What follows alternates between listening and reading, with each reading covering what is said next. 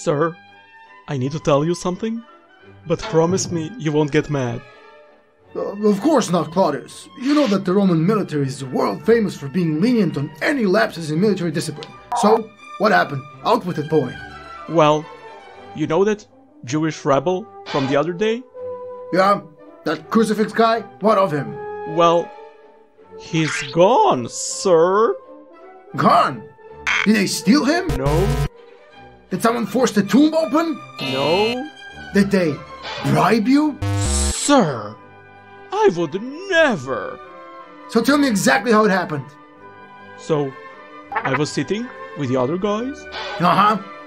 and then we all dozed off for a bit, Uh huh.